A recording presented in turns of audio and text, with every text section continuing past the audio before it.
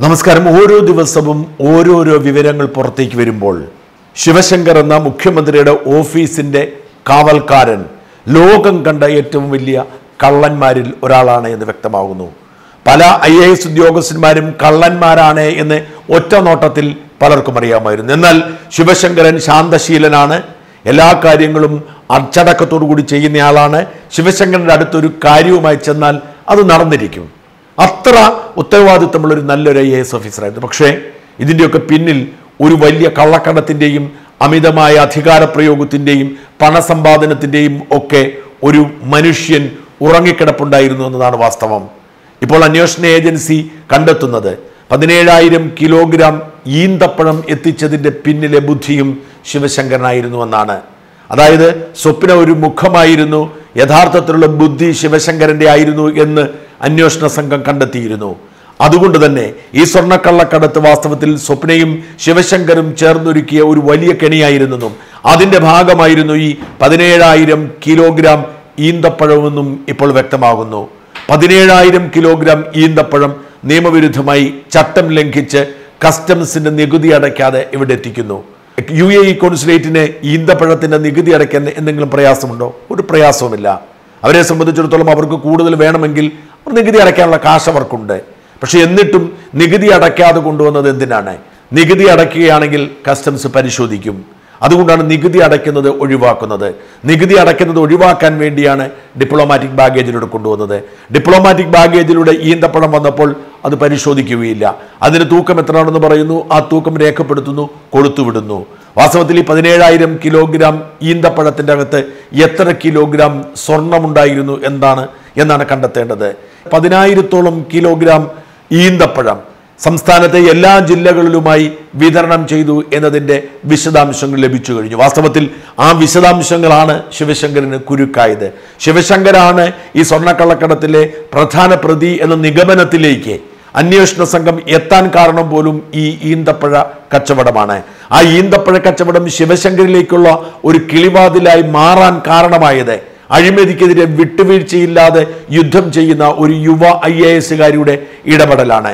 നമുക്കൊക്കെ അറിയാം അനുപമ എന്ന് പറയുന്ന ഐ എ എസുകാരിയെ ഭക്ഷ്യ സുരക്ഷാ കമ്മീഷണറായിരുന്നപ്പോൾ വമ്പന്മാരെ വിറപ്പിച്ച അനുപമ. പിന്നീട് ആലപ്പുഴ കളക്ടറായിരിക്കുമ്പോൾ ഒരു മന്ത്രിയുടെ രാജിയിലേക്ക് നയിക്കുന്ന തരത്തിലുള്ള റിപ്പോർട്ടാണ് അനധികൃത കയ്യേറ്റത്തെക്കുറിച്ച് കൊടുത്തത്. അതായത് നമുക്കറിയാം തോമസ് ചാണ്ടി എന്ന് പറയുന്ന മന്ത്രി അദ്ദേഹത്തിന്റെ റിസോർട്ടിന് വേണ്ടി അനധികൃതമായി കായൽ നിരത്തി വഴിയുണ്ടാക്കിയതിന്റെ വിശദാംശങ്ങൾ പരാതിയായി വന്നപ്പോൾ ഏഷ്യാനെറ്റ് ഒരു പരമ്പര തന്നെ ചെയ്തപ്പോൾ അതേക്കുറിച്ച് സത്യസന്ധമായ അന്വേഷണം നടത്തി മന്ത്രിക്കെതിരായി റിപ്പോർട്ട് കൊടുത്തതും ഈ അനുപമയായിരുന്നു. അതായത് അനുപമ ചെന്നിടത്തൊക്കെ സത്യസന്ധമായ രേഖകൾ ബാക്കിയാക്കിയാണ് ജോലി ചെയ്തത്. ഈ സ്വർണക്കള്ളക്കടത്ത് നടക്കുന്ന സമയത്ത് സാമൂഹ്യക്ഷേമ വകുപ്പിന്റെ ഡയറക്ടറായിരുന്നു അനുപമ.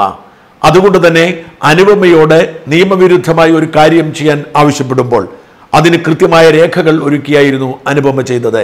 അതായത് ഐ ടി സെക്രട്ടറിയാണ് മുഖ്യമന്ത്രിയുടെ പ്രിൻസിപ്പൽ സെക്രട്ടറിയാണ്.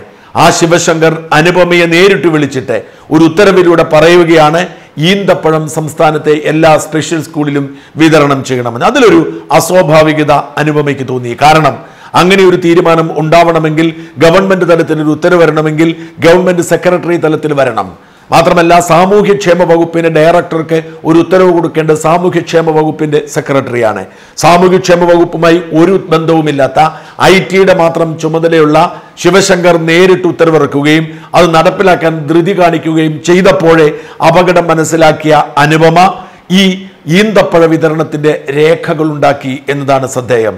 അതായത് അധികം ആരും ശ്രദ്ധിക്കാതെ കാരണം സൗജന്യമായി ലഭിക്കുന്ന ഒരു ഈന്തപ്പഴമായതുകൊണ്ട് ഇതിന് ഫയൽ ഉണ്ടാകുമെന്നോ കരുതിയില്ല. എന്നാൽ അനുപമ ഓരോ ജില്ലയിലേക്കും അയച്ചതിന്റെ കണക്കുകൾ എടുക്കുന്നതടക്കം അയച്ചതും കൊടുത്തതുമായ വിശദാംശങ്ങളടക്കം കൃത്യമായ രേഖകൾ ഉണ്ടാക്കി.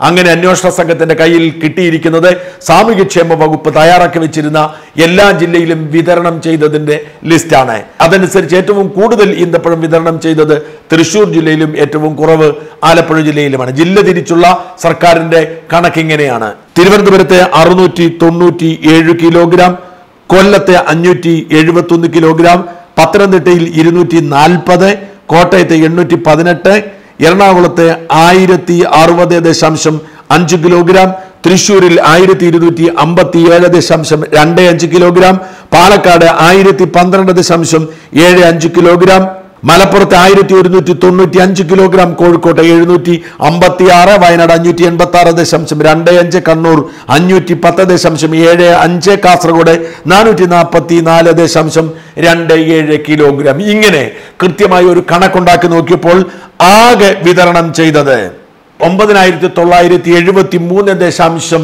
അഞ്ചു കിലോഗ്രാം ആണ് എന്ന് വ്യക്തമായി. ഏതാണ്ട് പതിനായിരത്തോളം കിലോഗ്രാം മാത്രം വിതരണം ചെയ്തിരിക്കുന്നു. ഏഴായിരത്തോളം കിലോഗ്രാം ഈന്തപ്പഴം അപ്രത്യക്ഷമായിരിക്കുന്നു. അവിടെയാണ് ഈ ഈന്തപ്പഴ വിതരണത്തിന്റെ ബുദ്ധി അന്വേഷണ സംഘം കണ്ടെത്തുന്നത്. എന്തുകൊണ്ടാണ് ഐ ടി സെക്രട്ടറി സാമൂഹ്യക്ഷേമ വകുപ്പിനെ നിർബന്ധിച്ച് ഈന്തപ്പഴം വിതരണം ചെയ്യിച്ചത്?